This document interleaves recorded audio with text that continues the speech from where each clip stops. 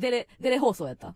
テレ放送やった。あうん。感じた？感じた。え全員、なんか多分うん、ブース入ってたと思う。全員入ってたん 多分。なんで？うん。普通にいいやのに。うんえー見たいから近くで見たいから？ほんまこいつらは、おかしいなと思ったんですよ。はい。結構他のスタッフさんに比べたら、たくさん芸人を知ってはるスタッフさんですけども、うんここでチェルミコの名前が出るっていうもんね。そうやでな。やっぱりそういうことなんかもしれないですよね。うん。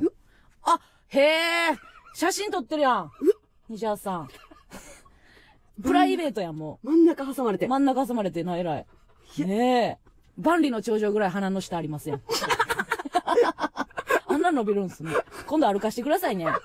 観光地にします、ね西畑の鼻の下。